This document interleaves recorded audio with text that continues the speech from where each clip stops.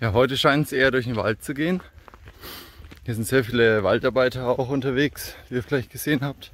Aber dafür sind die Wege sehr schön, man kommt schnell voran.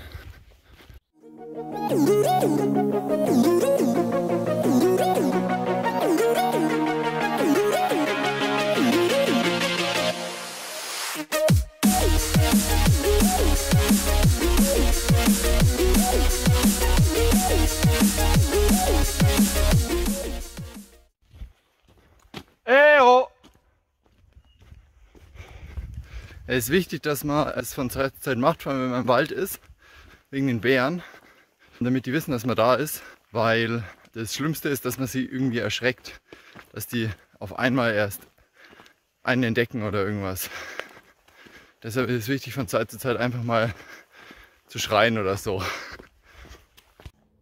Heute ist übrigens wieder ein sehr entspannter Tag, wie gestern, mit 22 Kilometern, sehr wenigen Höhenmetern wie ihr hier schon gesehen habt, sehr entspannten Wegen. Ja.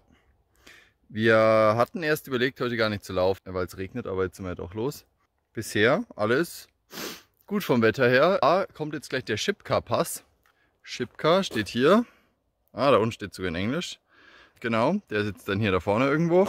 Der ist einfach mal, weil da irgendeine Schlacht ausgetragen wurde. Da werden jetzt auch solche Denkmale stehen.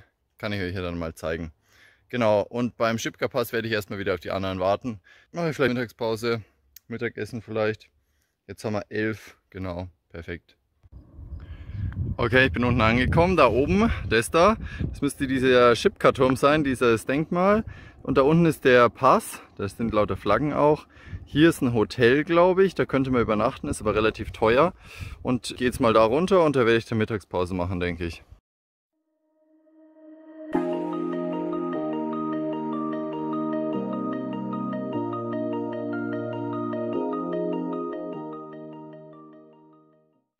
Da unten war ich gerade. Da kommen die anderen. Hier ging es jetzt 1000 Stufen hoch. Sehr anstrengend auf jeden Fall. Zu diesem Denkmal hier. Und zu diesem Turm da oben. Genau. Insgesamt 1000 Stufen war jetzt ganz schön heftig. Aber naja, wir haben bestimmt eine tolle Aussicht gleich. Hier sind schon mal die restlichen Stufen. Und da geht es dann hoch zu diesem Turm.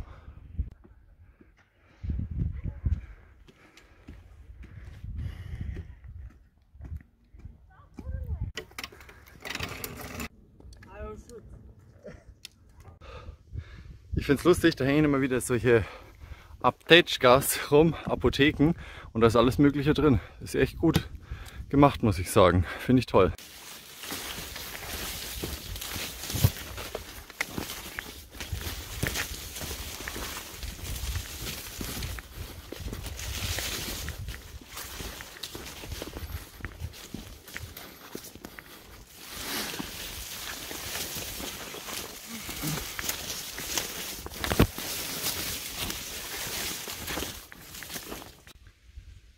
Man kann es ein bisschen hören. Es regnet jetzt. Ich komme gerade aus diesem Wald raus. Da habe ich das noch nicht so richtig mitbekommen oder eigentlich gar nicht. Ja, mal schauen, ob ich jetzt eine Regenjacke anziehe, weil das ist echt nur sehr wenig, was hier runterkommt. Da drüben muss ich hin. Da steht nämlich ein anderes Denkmal und daneben steht auch die Hütte eigentlich so ziemlich. Genau, fünf Kilometer habe ich bestimmt noch oder so. Schauen wir mal. Ich denke, es geht jetzt hier eher am Waldrand weiter, von daher werde ich jetzt keine Regenjacke anziehen. So, wir sind oben am Monument angekommen. Da oben steht's. Da werde ich aber jetzt nicht hinlaufen, habe ich gerade beschlossen. Und hier unten sind noch so zwei Fackeln aus Stahl oder was. Genau, sehr interessant. Nicht mehr so ganz schöner Ausblick, da es regnet, aber zum Glück nicht so stark. Jetzt hat es doch noch mal kurz angefangen zu regnen, weniger als ein Kilometer, aber wenigstens kann ich die Regenjacke mal testen.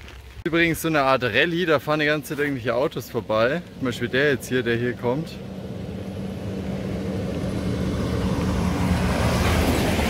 Ja, habe ich jetzt gut erwischt, ne?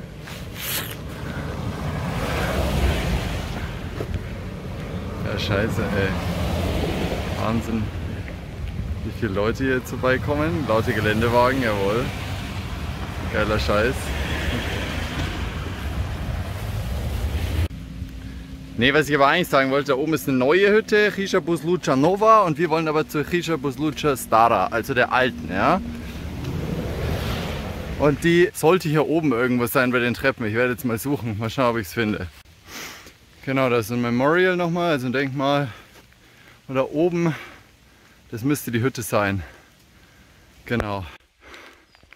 Chija Boslucha, da ist mal richtig. Sehr schön.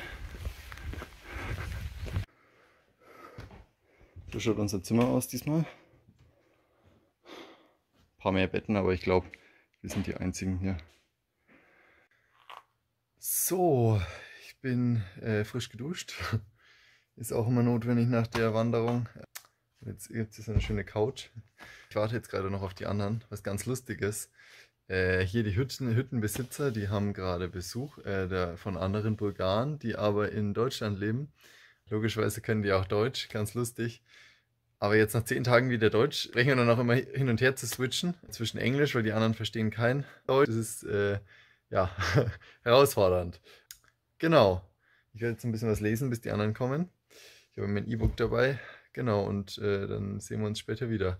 Ist auf jeden Fall mal cool, wieder mit jemandem gescheit reden zu können. Guten Morgen oder Dobre Utra, wie man hier in Bulgarien sagt. Heute wieder ein längerer Tag. Wir sind früher aufgebrochen. Wir haben 6.30 Uhr. Wir haben heute wieder ein bisschen was, ganz bisschen was über 30 Kilometer. Normaler Tag, würde ich sagen. Wir hoffen mal, dass es nicht regnet, aber es schaut jetzt, anschaut noch so aus. Aber ich denke, es wird maximal um 15 Uhr anfangen, sagt der Wetterbericht. Und dann auch nur sehr, sehr, sehr leicht. Also das wird in Ordnung. Also ich weiß nicht, ob das so gehört, aber hier sind Windräder. Die seht ihr jetzt gerade nicht, weil die hier hinterm Wald sind. Und die machen ganz komische Geräusche. Ich weiß nicht, ob das so gehört und ob die in Deutschland die Windräder auch solche Geräusche machen. Scheint so, dass da irgendwas Schrott ist bei denen, aber okay. Wieder ein sehr schöner Sonnenaufgang hier. Das ist übrigens auch eine Hütte. Da hätte man theoretisch auch übernachten können. Und da geht es jetzt weiter. Die legen ihre Wanderwege echt immer über einen scheiß Gipfel. Das gibt's nicht. Sehr schön, wie es da aussieht. Mit den Wolken. Von da habe ich die letzte Aufnahme gemacht und da wusste ich jetzt nicht, wie ich weiterkomme, weil da war ein Zaun. Bin ich jetzt einmal drüber und durch, keine Ahnung. Der Weg geht schließlich hier lang.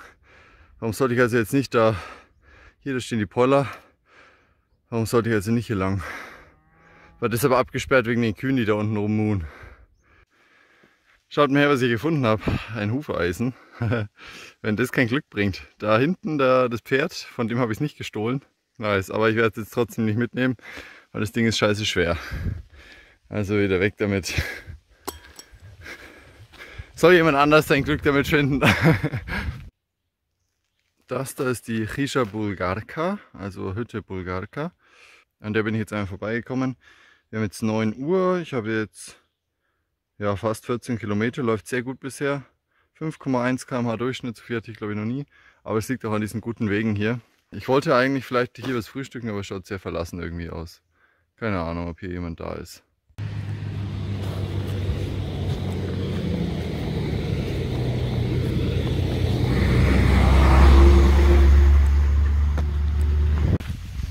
So, es hat wieder zu regnen begonnen, aber ich meine, das muss auch mal sein. Ne?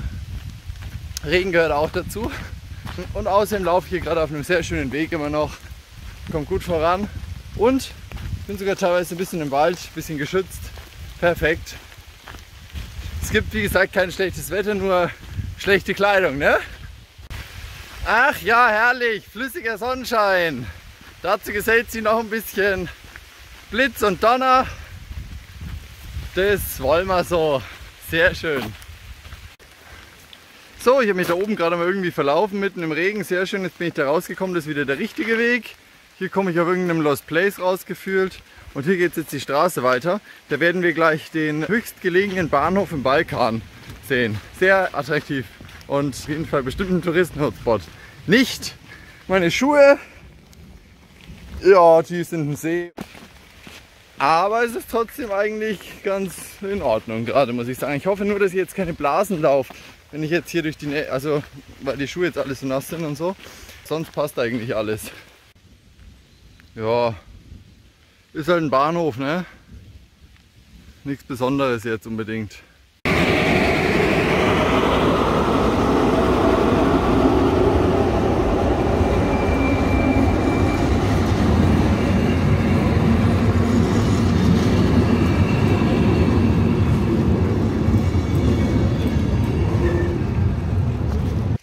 Was ich hier gefunden habe.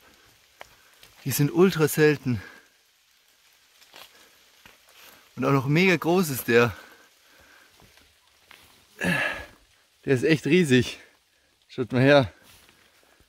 Der ist echt groß. Wahnsinn. Und ins Wasser geht er.